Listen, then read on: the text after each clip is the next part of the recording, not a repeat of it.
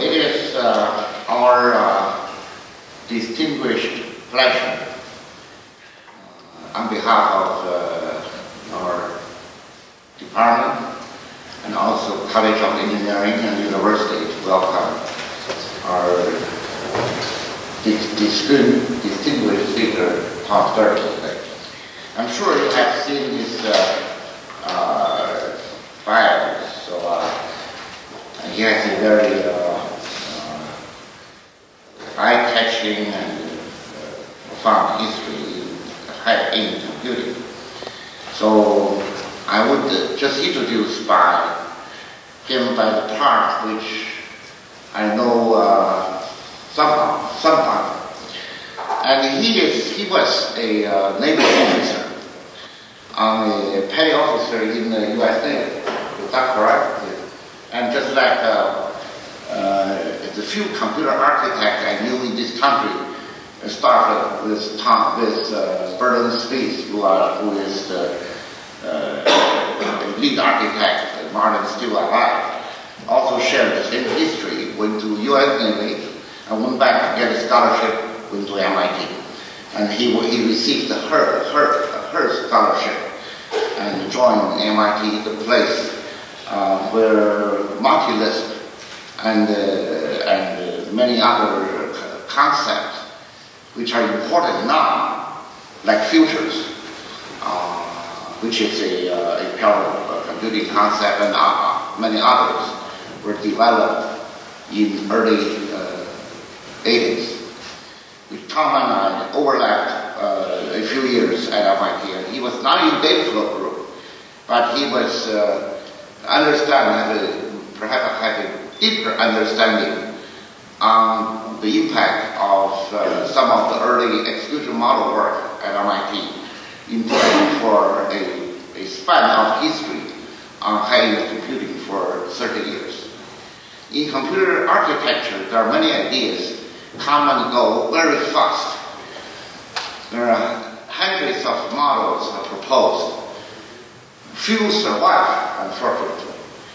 And uh, so, at the history of uh, high-end computing, Thomas' role is, uh, can, can use the word truly significant and historical because he uh, very soon he in the early 90s he realized the problems of parallel computing architecture.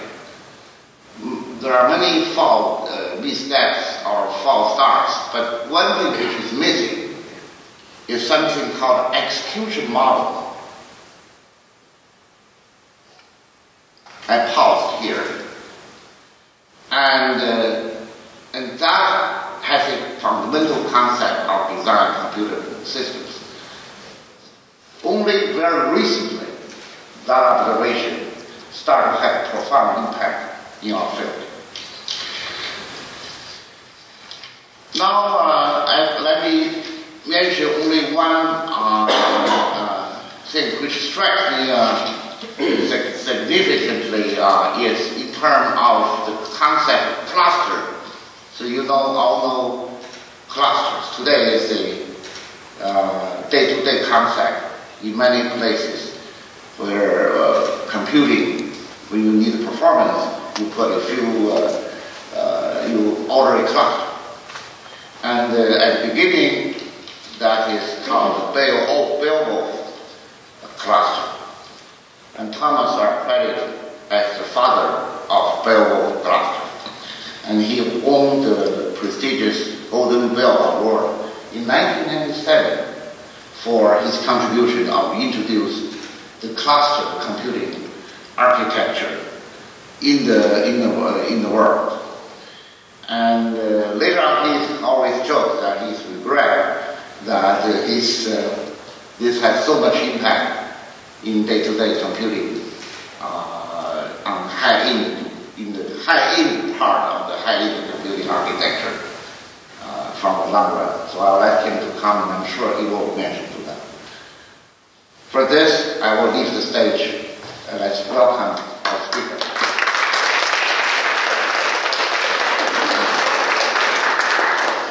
Very much, Professor Gao, for that uh, uh, really very flattering introduction. Now I have to pause here because I have to get rid of this slide. Let's see. I'm, I'm a, so I'm a new Mac user. now there are two, you can always tell a Mac user. two problems. Uh, the first is absolutely incompetent in the use of the computer, which I'm demonstrating now. and the second is that I'm an absolute zealot. And anyone who doesn't have a Mac is clearly uh, limited in extreme and unforgivable ways. Not an opinion I held just before I got a Mac. It is uh, truly a, pleasure and honor to be here. It's been many years since I've spoken to this audience, um, and uh, University of Delaware has a warm and close place in my heart and has played a substantive uh, role in the research that has unfolded over the decades in which I have been able to uh, collaborate with University of Delaware. Uh, very recently, some of you were involved. We had a meeting, uh, I don't remember when, last summer? Of course, I don't know when it is now. Um, I should pull out my thing that we euphemistically refer to as a phone, and, um, and it doesn't say the date. Uh, so I'm told it's April. Uh, we had a meeting that uh, discussed this challenge of execution models. The parallel, parallel execution model workshop was a second of such. And the result of that meeting, not held not far from here, the Department of Energy actually began a new, albeit small, program on modeling of execution models. That program is currently ongoing uh, at this time, involving three different national laboratories, by the way. Many years before that, and I'd be hard-pressed to remember, sometime around 2000 or 1999, we held a meeting here at the University of Delaware, and it was involving the HTMT project, an exploratory project that investigated the premise of building supercomputers uh, out of uh, very extreme technologies. The first attempt to do a detailed architecture design of a petaflops scale machine. And uh, while there are now petaflops machines, uh, nothing has come close to the size, the physical size, yet that we determined was possible, or I might say the energy uh, needed to run them. Uh, and uh, uh, Professor Gao and I have worked on multiple other NSF uh, projects, including one on our joint invention of percolation, a means of managing, among other things, heterogeneous computing. So I'm again very pleased to be here, and I thank you for your gracious welcome. Let me start off just by posing uh, an application challenge to you, and uh, then we will come back to this challenge at the end of my presentation at uh, the state of Washington and at uh, in the state of Louisiana, there is the largest National Science Foundation experiment uh, to date. This is LIGO, the Laser Interferometric Gravitational Observatory. The largest attempt to measure uh, gravity waves. Indirect evidence uh, through astronomy has shown that indeed gravity waves exist, but we have yet to measure them uh, quantitatively. This uh, device, a classic interferometer at an extreme scale, is kilometers on, a, uh, on an edge. The reason there are two of them is so that we can use, this, we can use the signals between them. Only those which correlate uh, can be considered truly uh, uh, extraterrestrial in that nature. And uh, we can use them also to help determine direction. While the legs are kilometers long, the actual measurements taken are fractions of the nucleus of an atom. This, uh, you can imagine the signal to noise, this is science at the most extreme. In order to extract a meaningful signal, it turns out, one has to already know what you're looking for. One has to know what the signal should look like, and that allows us to differentiate that from the plethora, the abundance of noise that is otherwise detected. And by the way, yes, they do use Beowulfs to uh, do the data processing on this. The way that's done is we do simulations of uh, known or expected cosmological phenomena. An example might be the collision of two neutron stars together as they go through a death spiral and eventually collide to produce a single body of neutronium. And we do simulate this. That's a nice side effect, by the way, if we get the phenomena correctly. Uh, it's also a prime candidate for mon- um, uh, modeling um, uh, gamma ray bursts, uh, one of the most energetic phenomena observed. How do we do that computing?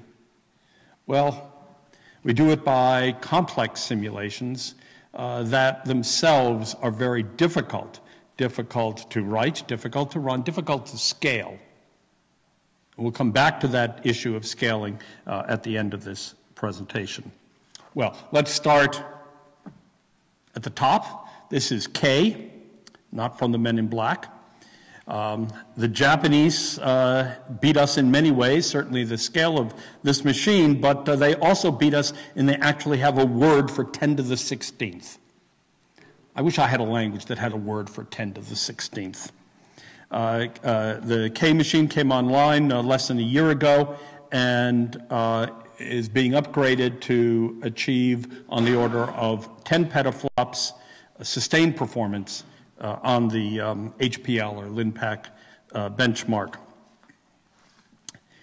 But it was only six months before that that another machine, also in Asia, was the number one machine. This is Tianhe, or some appropriate pronunciation. Forgive me, my Chinese colleagues, for that uh, butchering of it. But it was uh, two and a half, more than two and a half petaflop sustained performance.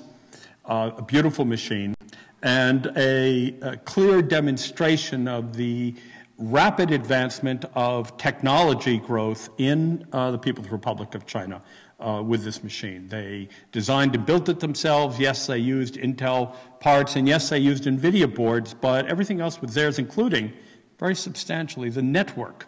The network, in fact, has a, a peak throughput in excess of twice that of InfiniBand, for example. Also, the third processor class that they used, this one for I.O., was built from the sand up. They designed and fabricated their own microprocessor, and we will see many more of such products uh, enter both the high-end computing and mainstream in the future. Yet, this is only scratching the surface. Problems such as the one I've just introduced are identified as exascale problems, problems that must run uh, 10 to 1,000 times faster than uh, these machines are capable of. And how we are going to get there is the story of my talk. It's the purpose to describe. Because although in achieving a teraflops, this is a um, millionth of an exaflops in 1997, the ASCI Red machine, and achieving the first petaflops machine, this Roadrunner, um, in 1998, about 11 year apart. The same formula was applied and this was based on the killer micro integrated with DRAMs combined with some kind of a system area network. Using the communicating sequential processes model, in terms of programming, you know this most, um, most commonly as the message passing model, as uh, manifest, for example, by the ubiquitous U, uh, MPI uh, programming interface. That's a factor of a million from a gigaflops to a petaflops in a period of something just barely in excess of uh, 22 years, 25 years.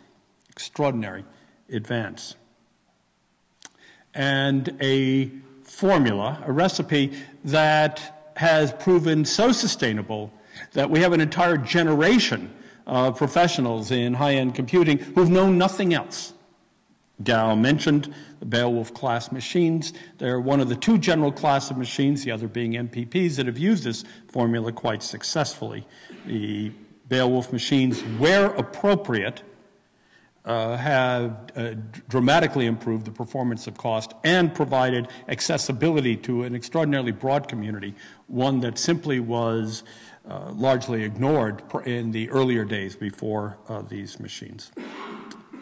On the other hand, I will say, and I mean this, that uh, the Beowulf class machines, while very good at uh, capacity class computing and not bad at what I call cooperative computing, the uh, weak scaling of MPI programs is not a very good capability computer. I've always been amazed that they would, in many cases, replace uh, superior machines. Horst Simon gave a talk at uh, the International Supercomputing Conference a few years ago on its 20th anniversary. He gave the what he said was the top 10 ideas in the last 20 years in, in high performance computing. I was, I was initially honored, uh, but then thought better of it uh, when he called Beowulf the fourth, fourth from the top of the, of the list.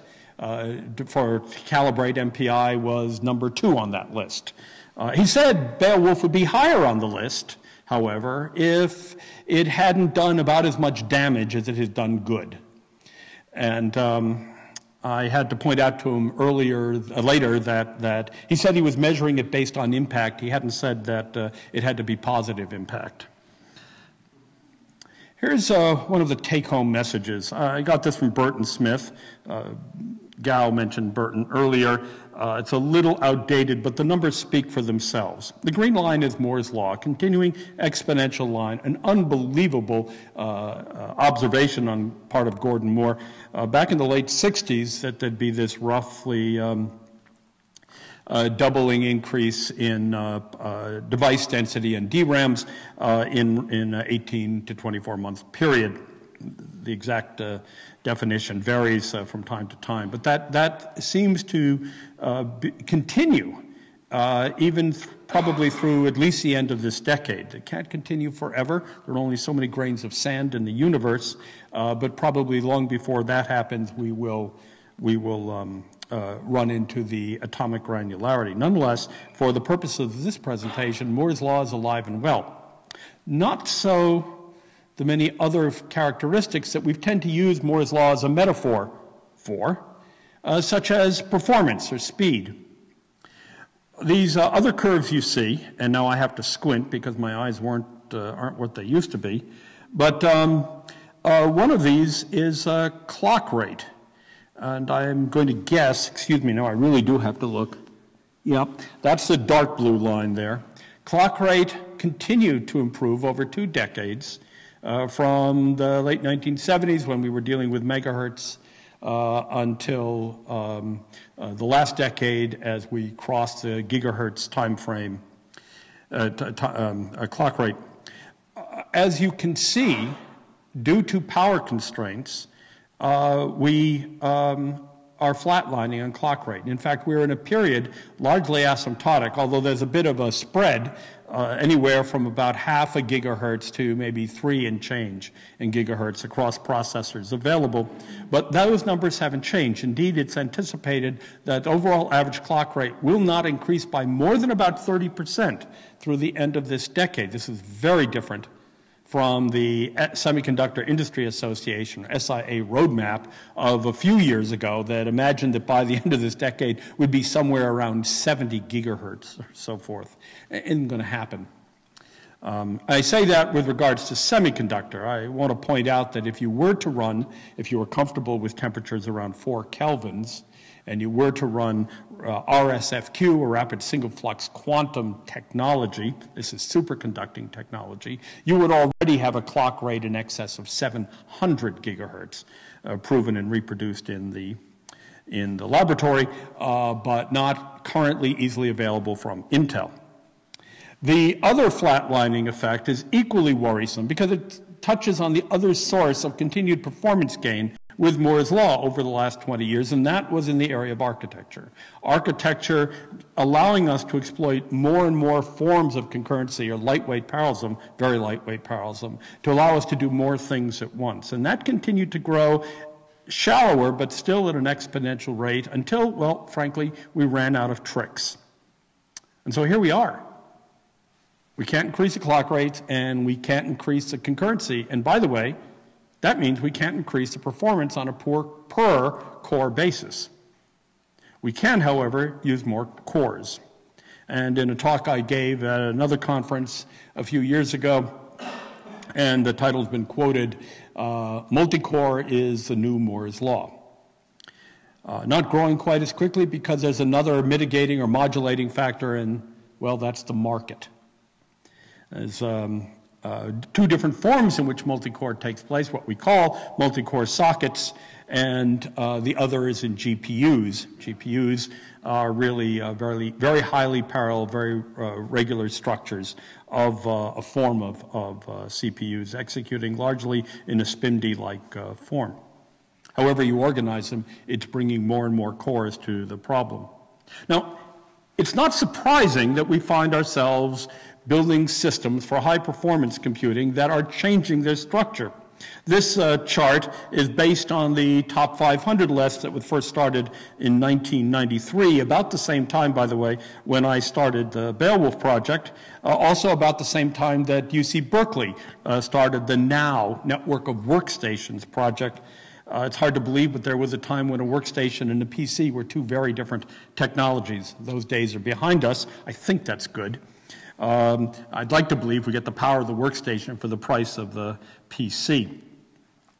It wasn't until, uh, in fact, 1997 that the first such cluster showed up on, on the uh, top 500 list, and that was indeed uh, a later version of the NOW uh, system um, uh, that started that. And, and you see it now, now in that large yellow swath those are commodity clusters. Below that, the blue, are the MPPs, the other killer microstructure. But at the beginning, towards the left-hand side, you see there were others. There were even single processors. There were SIMD machines. There were SMPs. All of these different structures were of sufficient capability that they provided. They provided uh, at least enough capacity to be on the, on the top 500 list.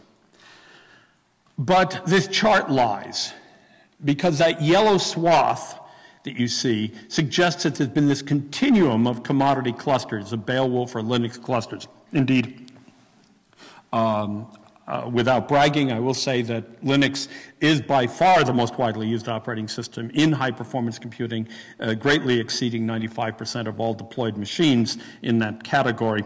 And uh, I think our project was first in that at least we were running the first single applications across multiple nodes using, using Linux. That's a little bit different from pure throughput computing.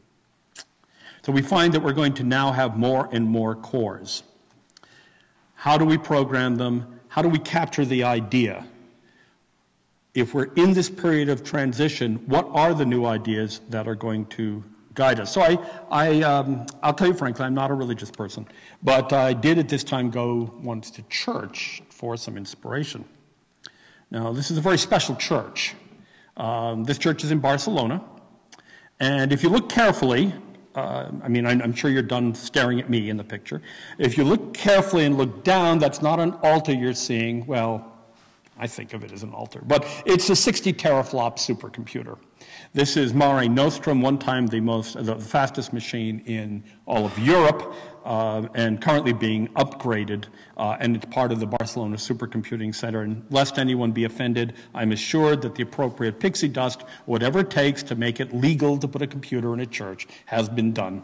Um, so uh, it, it's all okay. But the reason I was there was not so much to see the computer, although I've got to tell you that's a really cool place to put a computer. Um, but rather, it's to look at the work that they have done there. Uh, Jose um, Labarta, uh, under Mateo Valero and others, have um, uh, been exploring the use of using uh, uh, DAGs, or uh, directed acyclic graph, for developing the precedent constraints of defining the conditions under which execution can take place. Well, there's nothing new with this. Professor Gao uh, and his uh, colleagues, um, uh, Jack Dennis and many others, have been working in similar uh, structures, although somewhat different in actual functionality of data flow graphs. This is an idea that is recurring. Indeed, this work alone has been uh, used for uh, the last um, uh, 10 years, and it, it's become uh, fairly effective. The particular modality for this model is to actually insert it within a conventional model, the MPI model. So it's a mixed model. Here uh, you see on the chart uh, several different ways of doing the LINPACK benchmark. Uh, the, the lower ones are OpenMP and MPI. The higher one in, in performance is uh, the um, is a system called StarSs that uses this DAG. Others have used the DAG as well. Okay, so there, I didn't do these graphs. It's not my fault, but there's a little bit of duplicity here. Maybe some of you caught it. The um, bottom of the uh, vertical axis is not at zero. All right, this is only a slice of the, of the vertical distance here, so it isn't quite as dramatic as it suggests. But what has changed? What provides that performance and what is the likely chance of getting superior performance? Performance through increase of efficiency, performance through hopefully dramatic increase in scalability. If we can't increase, increase, the speed of the processors, then we best increase the number of them that we're using and the use that we get out of them. And the answer is, from a practical point of view, the development uh, and use of runtime systems. Software that guides the execution throughout the uh, run of the problem, uh, making best possible use uh, of the resources that are available, using information that's only available during the execution that's not available at compile time, decisions that have to be made at runtime to take best advantage of the available resources. You know, it's sort of like the two pictures in this slide. Uh, the, the lower picture you see here is a, is a cannon. Right, this is a uh, fire and forget kind of thing. You, um, you fill it up with a certain amount of gunpowder, you put the cannonball in, you aim it, you fire it, it goes bang, and the cannonball is often, it's on some trajectory influenced by winds, air, and, and all sorts of other things, running into birds, I suppose. As opposed to um, the, uh, the uh, guided missile above it, which is a closed system, is constantly measuring its trajectory and making changes in order to correct for any errors that are interjected, and so providing much higher, much higher accuracy. And we want to do that in computing. We want to, we want to provide that constant adjustment to get the best usage, usage in time and usage in energy uh, from our, our execution. That uh, cannon, by the way, uh, it's actually really big cannon. I, have seen it. It's, it's in, um, uh, I was in the Kremlin in Moscow about a year ago, and uh, there it was, really gorgeous. I mean, that, the mouth of that cannon is enormous. It's about a meter in diameter. And the cannonballs, they're, they're even more impressive because, well, they're more than a meter in diameter. Yeah, okay, for the one person who was paying attention, those cannonballs would not fit in that cannon. Um, it's okay, they never actually fired it in anger. All right, so I'm describing a runtime system as a new, a new element of future high-performance computing systems, but what in fact does, uh, what guides the design, the development of that runtime system? How does that runtime system interact with the compiler? Or for that matter, how does it relate to the programming model? Is there a new programming model? And in the other direction, how does it in fact support the architecture how does it work with the operating system? All these questions have to be answered in some perspective, some strategy, and uh, this strategy is an execution model. Now, I, will be candid. It had never occurred to me that the notion of an execution model itself was a contentious issue. I assumed that everybody knew that you had implicitly or explicitly an execution model. I didn't even want to discuss that. I didn't anticipate that this would be a, well, let's call it a contribution for the sake of you being polite to me. Uh, I thought the specifics of the execution model were important, but not, not the general concept, the meta paradigm. Well, I think that we, in fact, are approaching a time due to the reasons I've just said, that we have to change the way we do computing. We have to change the paradigm in order to achieve, well, and oh, exploit the runtime systems, achieve the higher levels of efficiency, greater than, say, 5%, and achieve the scalability, how about two orders of magnitude or more? We will need that if we're going to get to exascale. An execution model is an approach, a model that provides the governing principles, that guides the co-design of all of the layers simultaneously of a future system, and at the same time defines their interoperability during, during execution. It is not a horizontal or virtual machine. It does not hide everything below from everything above. It, rather, it is cross-cutting. It touches all the layers simultaneously and allows you to define all the layers with respect to itself, the execution model, which, as we were discussing earlier today, is an order n level of complexity, as opposed to trying to decide and define every layer with respect to every other layer, order n squared complexity. Well, why, why am I so confident about the fact that, that execution models are important and, and in fact that we're ready to have or need a new one as well as what are its properties? Well, because we've done this before. This is not new. This is not, in fact, different from the history, uh, past history of computing. It's just we haven't done it in the last 20 years.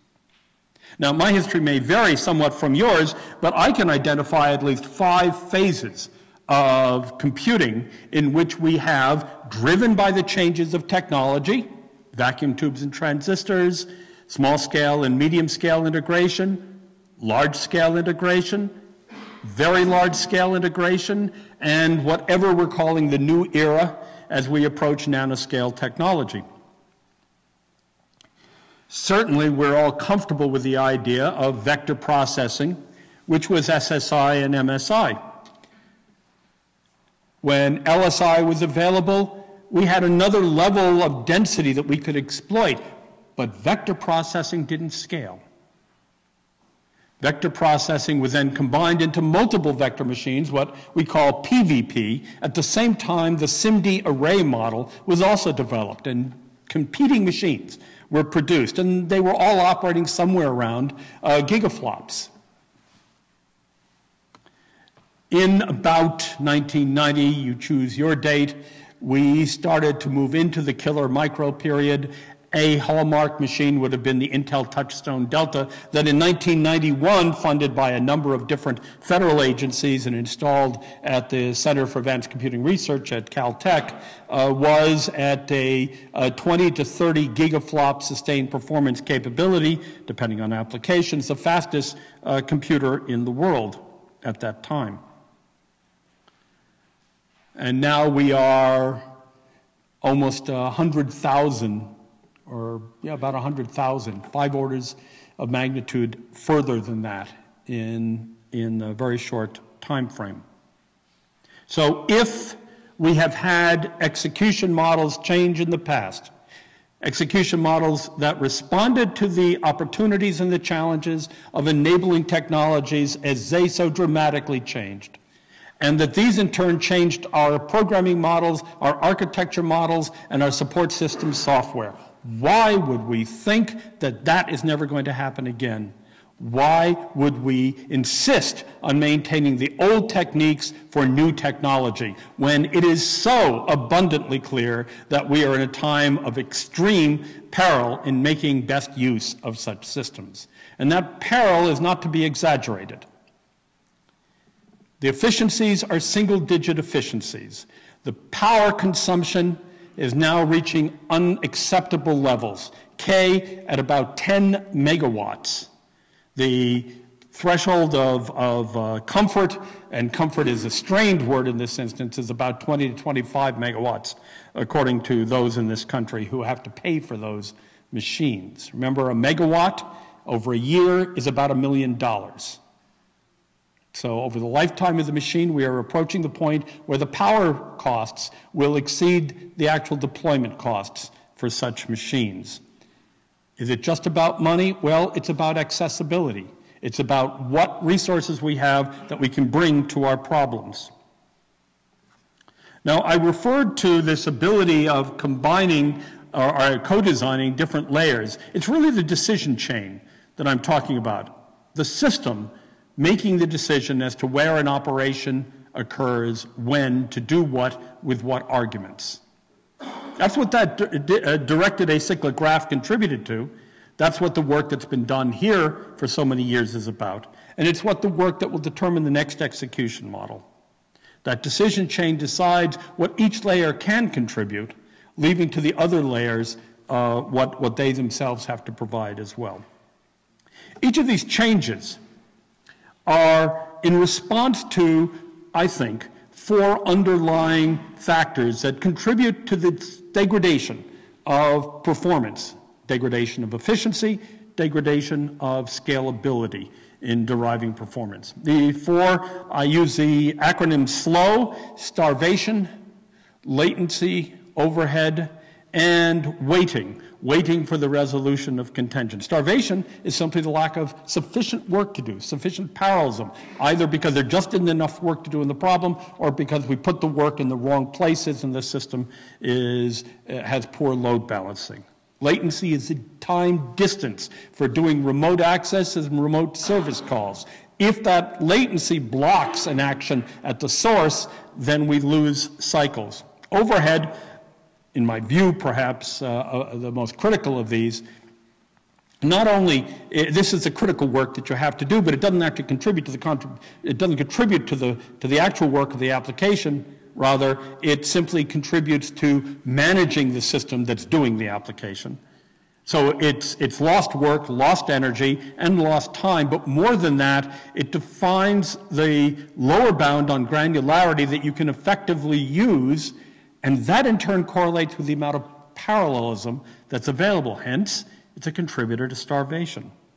And then, of course, there's the, uh, the issue of contention that has to be addressed. And it has to be done at runtime because, except for very special cases of uh, uh, access patterns that one can work with at compile time on fixed topology and timed networks, we, um, we really have to adapt to the changing conditions.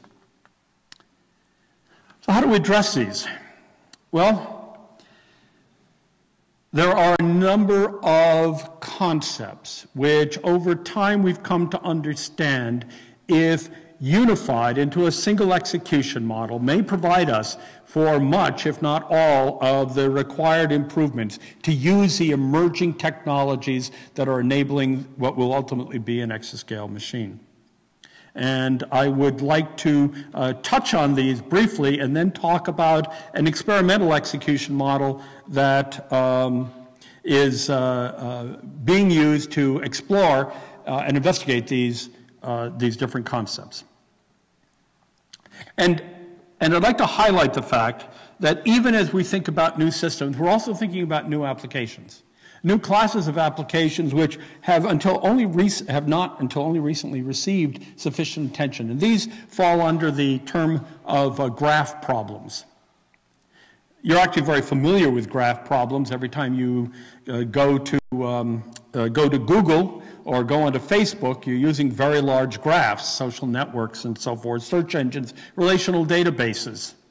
Those who do uh, STEM problems, science, technology, engineering, and mathematics, will find a set of adaptive algorithms, such as adaptive mesh refinement, uh, that in fact use graphs in order to dramatically reduce the actual number of computations you have to perform while still retaining the same level of accuracy that you would have otherwise done. Uh, the adaptive mesh refinement only does computation at those points on boundaries or where there are highly fluctuating uh, values in the computation, leaving other parts of the computation to use fairly broad, broad um, graphs.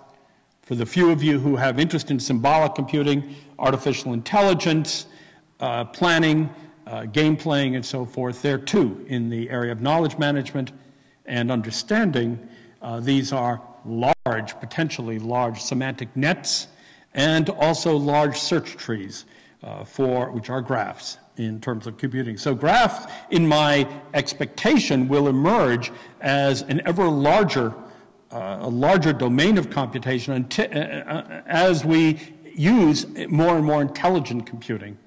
Uh, and that means uh, high performance computing for symbolic processing. The ideas here come from many different sources. Split phase transactions, no, this is not transactional processing in the sense that it's commonly used. It simply allows a disassociation of the physical, I'm sorry, the abstraction of the computation from the physical medium. So that if the abstraction itself is blocked, the physical medium is not. The split phase transaction allows you to partition in time the different operations, doing all of those in a single locale, lo local domain, and then moving on to some other local domain. That addresses uh, the problems of latency because you're not doing a lot of gathers. You're simply moving the work to the data. And this is important because it's not always optimal to move the data to the work. To determine when you want to do a computation, well, in an asynchronous machine, you don't know when all the precedent constraints are going to be satisfied. And like the original data flow models in the 1970s and 80s, you can establish constraint-based synchronization criterias that define under what conditions a future action can occur rather than explicitly determining and establishing and fixing when that action is going to take place. You combine these together and you get yet another old concept, although used in a very new way, and that is data-directed execution. The merging of conventional control parallelism with data parallelism. These are not separate.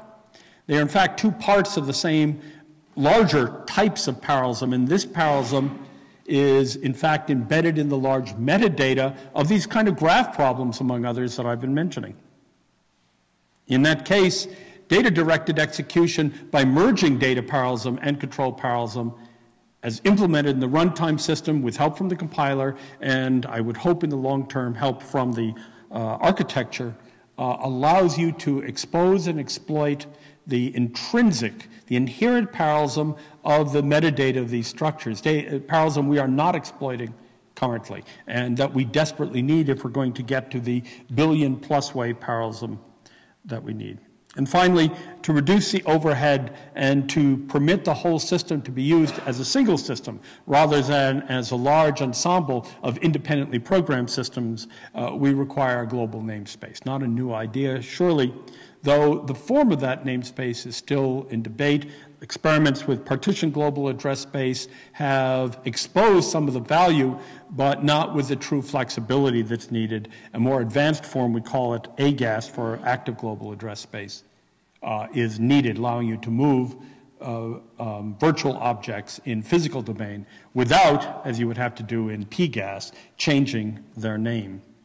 These concepts and a few others have been merged together in the experimental ParalleX execution model that has allowed us to develop systems and ultimately applications to demonstrate and to, again, explore this new class of runtime execution uh, for real world applications. This is a cartoon that gives you a sense of some of what goes on here. The little squiggly black lines are these localized threads of execution, which, which are ephemeral. They run for a certain amount of time and they terminate, as indicated by those red blotches. Before they do, they can change local data. Uh, they can also send those messages, those parcels, to other parts of the system and create new work elsewhere, moving the work to the data, which can take much less effort, much less energy, much less time than, than again, bringing all the data to the work. Although indeed a gather is quite possible in this, in this model. Uh, we also have these specialized synchronization constructs, very lightweight, very rich in semantics, quite different from the global barriers we occasionally, or we, we frequently use in the um, uh, bulk synchronous parallel or protocol uh, method that's uh, typical of conventional programs. And these uh, local control objects are able to put, create those constraint-based synchronization points that I'm talking about. They also allow you to actually move the control, the actual control from one part of the system to the other. Well, what, what does that mean? Well, we, we keep the control in one place, right? We have a thread. There's a thread in a processor, it's the program counter, it's a stack pointer, and it stays there.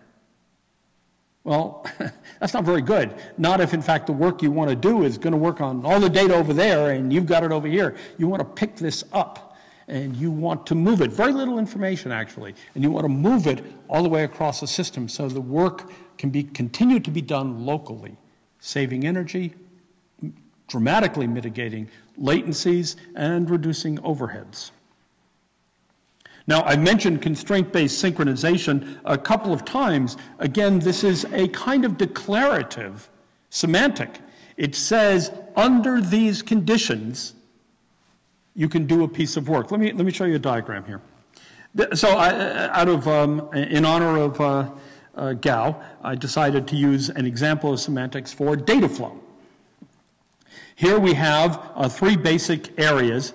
Uh, to the left, you see the input incidence. In data flow, values would be arriving. Not until all the values arrived, this is a strict specification, are you able to do an operation. So the values can arrive, they can arrive out of order. Now, the control state associated with this simple object, and yes, I'm talking object oriented here in this case, a simple object, and the control state maintains a history that indicates the change that occurs in response to the incidence of these input values. It's associated with a predicate that's tested and that one or more different conditions, if satisfied, can allow a future piece of work to be instantiated. And that piece of work is in the final stage, and in this case, it suggests that a thread could be instantiated in order uh, to do this. Now, here you have actually a single construct in which the classic data flow execution model could be entirely encapsulated. And, and Gao will insist, but I didn't include the data, and I guess he's right. So um, uh, the data structures that uh, could be used. But this is in itself an extremely powerful mechanism, and yet it's only a tool, an element that allows us to do much more powerful parallel computing. I've also talked about message-driven computation, and, and so here's, here's an example of a, of a parcel, and this is typical, although a variant, of a, a number of approaches that use active message, messages. There's a, there's a destination. In the case of the parcels, it's a virtual destination, not a physical destination. And there's a payload that carries data. That would be true with, with any message, uh, certainly. But there's also this notion of an action. The action to be performed on the data that is represented by the destination. And that, that data can be some element or elements in a data structure. It can be an object. It can be an active process or an active thread. It can either change the internal state of the execution of that, or it can change the state of it completely, like defer it, change it, kill it, Oh, and there is that one other piece of uh, information on in the, the structure of a parcel, and that is, we call it a continuation. And a continuation is a piece of control state. It says, and when you finish this, what do you do afterwards? One possibility is, in fact, that you either uh, touch or instantiate one of those local control objects. So now control is a first class entity in the execution model itself. These, these parcels, these active messages upon incidence of a physical uh, element in the system can have many different effects. I've suggested that they can already instantiate threads uh, or change the threads themselves. They can do very lightweight actions on uh, memory uh, local at a remote site uh, without actually having to create a thread. They can move data or they can request data to be uh, moved. They can touch and permute the state of local control objects, and they can even touch hardware. They can even go and they can throb a bit in the hardware or, or read it. They're very flexible and they can do many things.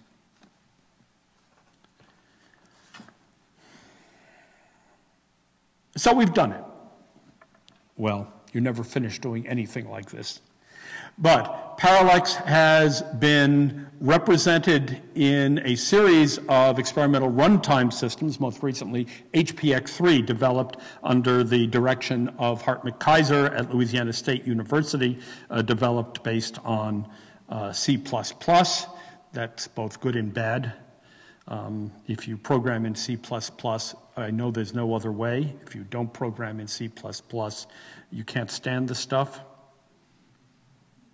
I write in Python. I won't continue on that course. The runtime system has basically four major elements in it. Will not surprise you. It reflects the underlying model. There is, in fact, a lightweight uh, threaded cont uh, instantiation context switching system, a user thread system, not a, not a pthread system uh, from the Unix operating system. There is an address translation scheme that is global for the um, active global address space system, works both locally and globally. Very important thing that it has to do very efficiently is answer a simple question. Is this identified object local or global, yes or no? And that's one of the things that it does.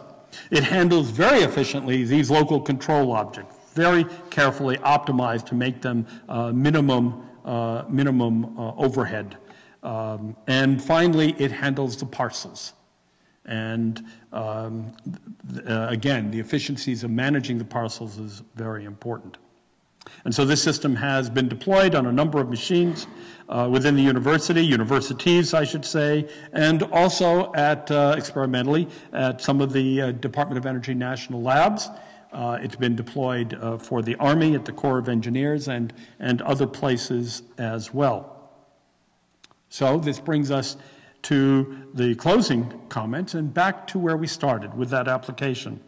I said that in order to detect something, you have to already know what you're looking for. And that means, with regards to LIGO, again, the Laser Interferometric Gravitational Observatory, that you have to be, uh, you have to simulate the phenomena you think you're going to look for. For example, in 1987, in one of the uh, Magellanic clouds, there was a supernova that was uh, discovered before LIGO, unfortunately, but it was of sufficient uh, scale that the gravitational wave, we assume, would have been more than sufficient to be detected uh, by this model. I know it's a little unkind of me to point out, but LIGO is about 10 years old, and the number of um, signals that it has uh, detected is relatively small, uh, although it is NSF's most expensive uh, project. Uh, to be exact, that number is um, zero. Nada. Okay, so, um, yeah. Uh, so, you know, sadly, uh, the NSF uh, did what obviously it had to do after 10 years of not getting anything. And uh, so it, uh, it threw a lot more money at it to make it more accurate, more sensitive, so I think they could measure to a greater number of significant, different, significant digits, nothing. So we're going to have zero to a much, much higher resolution. Okay, that's pessimism. Actually, I expect that uh, uh, there are gravity waves out there and they will be detected at some point. And I hope the good people at the LIGO experiment get to get to share in that glory. It is certainly going to be one of the most important um, results of the early uh, 21st century. Now, the simulation needed to detect these colliding neutron stars uh, can be done in the typical conventional fashion. In fact, it has. Uh, using adaptive mesh refinement in order to get this 10 to the fourth advantage in terms of reduction of number of operations that you have to perform, uh, a, a, system called HAD, and it doesn't even stand for anything, uh, an AMR system was done for this purpose to show, uh, to, to, deal with the uh, colliding neutron stars and, and to simulate what we think the uh, gravitational wave would look like. Or we, we could use ParalleX and try to expose the parallelism that's not being exposed, and in particular, to allow the different parts of the computation that would take very different amounts of time because of the highly irregular structure of the data uh, to operate at their own preferred rate, and indeed possibly literally overlapping different phases of computation. I showed you a DAG earlier from Barcelona here is a DAG that's used, a simple uniform DAG that's used. You'll see any one of these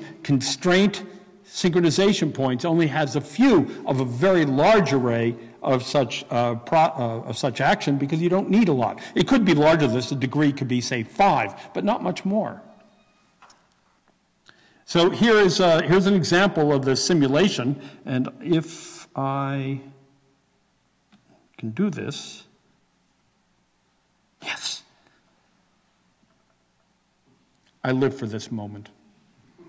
What you've just seen here is a cut set through a three-dimensional um, uh, range of space using adaptive mesh refinement with a gravitational pulse injected at the middle, and then you saw the, the ripple effects of the gravity waves through the time-space continuum. This is numerical relativity. I love saying time-space continuum. It's really good. Now, so, it's not often that someone like me who doesn't really write applications gets somebody else not only to have a really great application in MPI, but to be willing to rewrite it from scratch in something as obscure as ParalleX's HPX C++ call interface, which, by the way, is changing on every few weeks. So no matter what your application does, it won't work a few weeks later.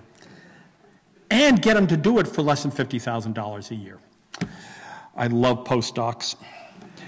Oh, sorry, did I offend someone? The work I'm showing you is done by my colleague, uh, Matt Anderson, who is, is, truly a rare computational scientist, a credible uh, cosmologist uh, in the area of numerical relativity and uh, programming. Here, for an example, just to give you a flavor of what we're talking about, are comparisons between the use of HAD implemented an MPI and HAD Im implemented using the HPX3 runtime system.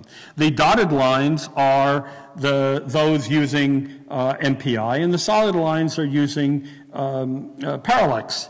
Now, the black dots and the black solid line represent no uh, levels of refinement. So this is sort of non-AMR AMR or something. And you find that, in fact, uh, uh, this is a scaling graph, that the MPI uh, implementation was doing better, that, to say, the black dotted line is doing better than the black solid line. And then you start adding levels of refinement. And guess what? The MPI scalability, as you add parallelism, goes down. While, as you would expect, the parallelism for the implementation with ParalleX goes up. But perhaps uh, something a little bit more absolute, the actual comparison of the runtimes. Here, it's, uh, you're looking at the MPI runtime of the HAD execution unit compared to the HPX version of the same application on the same physical system. And depending on the number of cores, and admittedly this is a very small number of cores, but it gives you the idea, you have a performance advantage of a factor of two to almost a factor of four. I'm not talking about 20% to 40%. I'm talking about a factor of two to factor of four. The only thing we've changed is the application. And we're using the application that actual scientists, I should have a can with a scientist picture on it, right? Smiling, pointing at. We, actual scientists have been used to do real science. And we're still just stuck on the same machine. But here's the money shot. Here for me is the diagram that really expresses what's actually happening. When we first did this experiment and we got this data, uh, I can say honestly that I was emotionally impacted. I've never seen this. What do these silly lines mean? Well, the horizontal line is physical time. Your, your watch, if we still use watches, our thing we call a phone, um, that's the physical time that's going by. The vertical is simulation time. Uh, if you draw a line uh, across horizontally from any point on the vertical axis, you're talking about the same point in simulation time. Therefore, if you draw a vertical line, you're talking about the same point in physical time. So let's do that. Draw a line in your minds from, say, oh, there's a thousand of physical time, thousand seconds in vertical. You'll notice that these different curves, each one representing a different point on the radial of that uh, um, uh, simulation I just showed you, each one of these represents different color, different point on that. And what's happening? At any one point in time, there are different parts in simulation time that are being executed. The system is self-adapting. Not only are we overlapping a phase of computation with communication, we're overlapping multiple phases of computation.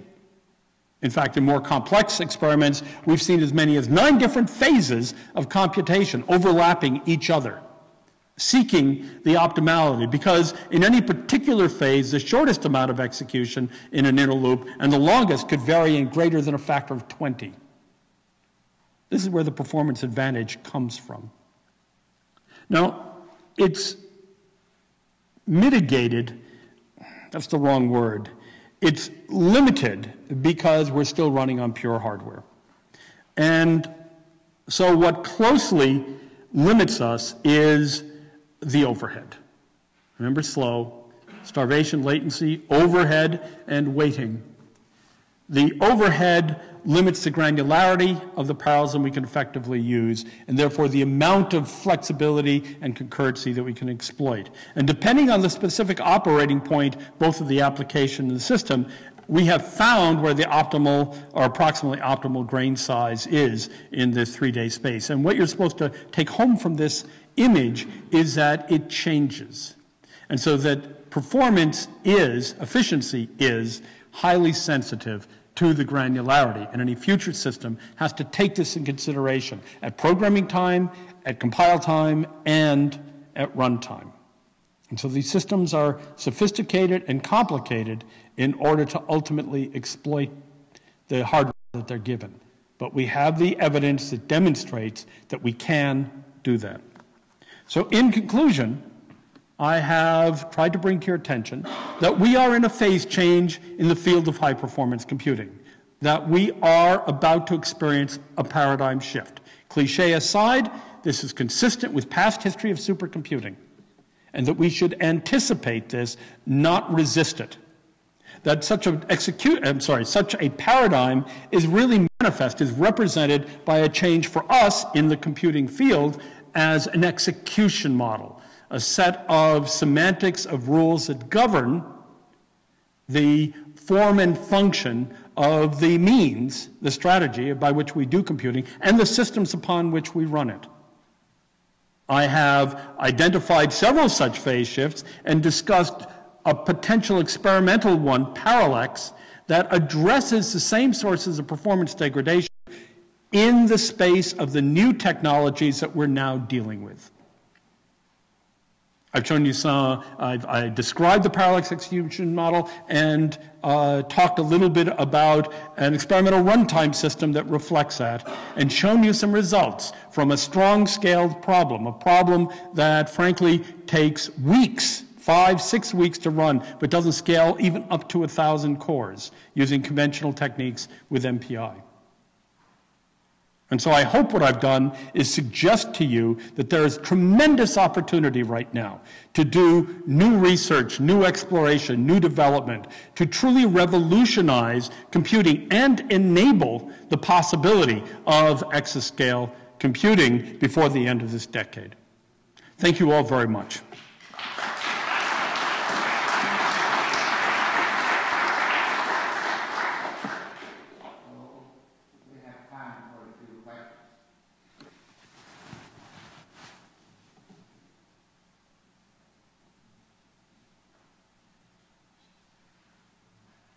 Oh, don't be shy.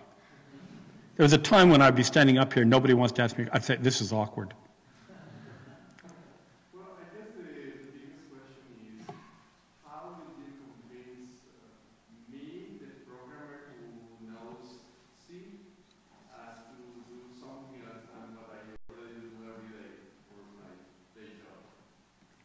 Yeah, I was at a meeting on the West Coast a couple of weeks ago, and somebody asked almost exactly that question. Not to me, I wasn't even invited to speak, uh, but uh, to somebody else. And I was shocked and delighted at the answer.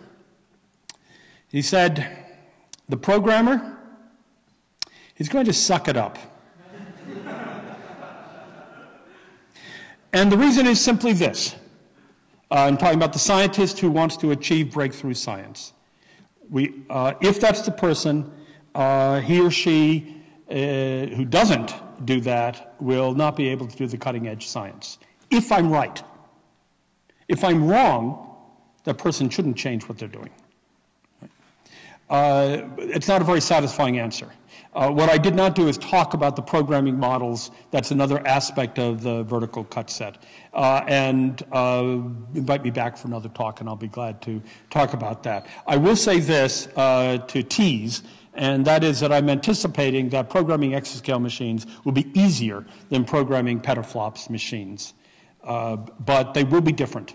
And uh, many good people are thinking about what is the migration path of legacy codes uh, to such future systems. And that, that too is an issue to be discussed. There are literally billions of dollars of investment in, um, in current codes that are important not just because of the work, but because of the validation, the verification that's been applied to these.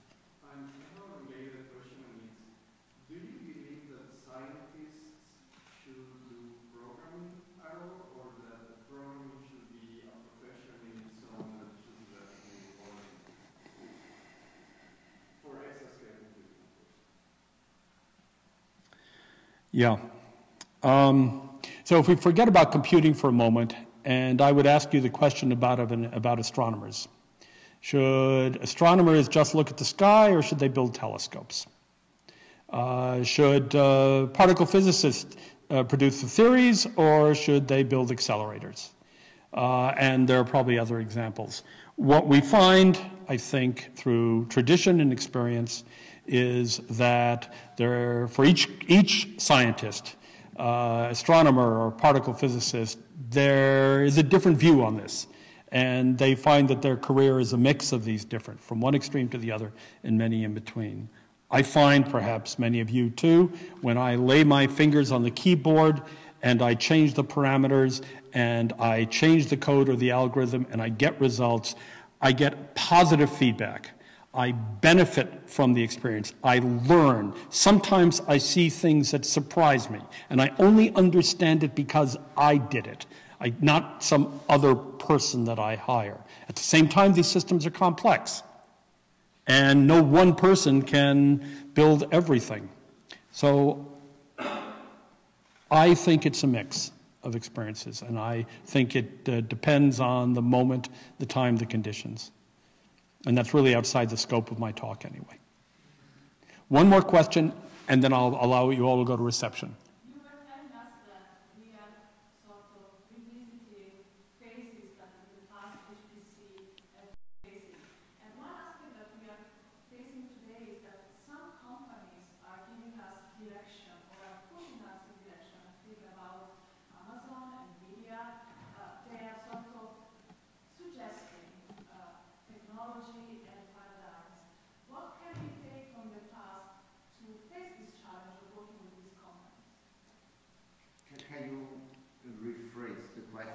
Yeah, uh, uh, let, let, me paraphrase. I, I, it's, a, it's, it's, an extremely good question. There, there is uh, industry pressure to adapt certain approaches that a number of very large companies, and you could add to that IBM and Intel and Microsoft if you would like, uh, as well as Amazon and Google and, and so forth.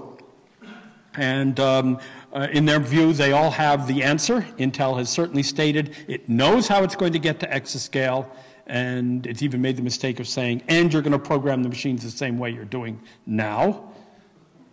Not, not all of Intel, I assure you, but yes, in public, statements like that. Um, the uh, uh, IBM is the classic, uh, don't worry your silly little head about it, we have it under control.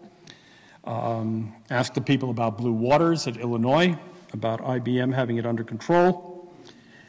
And how do we respond to that? You know, um, the, the good news is it really comes down to the final result.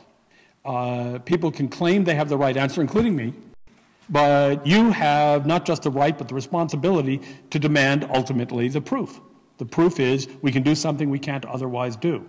Now, Amazon, Google have a class of problems which are frankly very different, although there are some similarities, to the kinds of problems that I'm talking about. And so when they're worrying about what they're doing with the information on spinning disks and worrying about um, MapReduce, uh, they're really talking about, although there are similarities, they're really talking about different problems. They're talking about time constants. Time constants that vary by six orders of magnitude. And by the way, orders of magnitude matter. Uh, and so, no, one size does not fit all. So, We have a reception. Again, let me thank you all very much for your attention.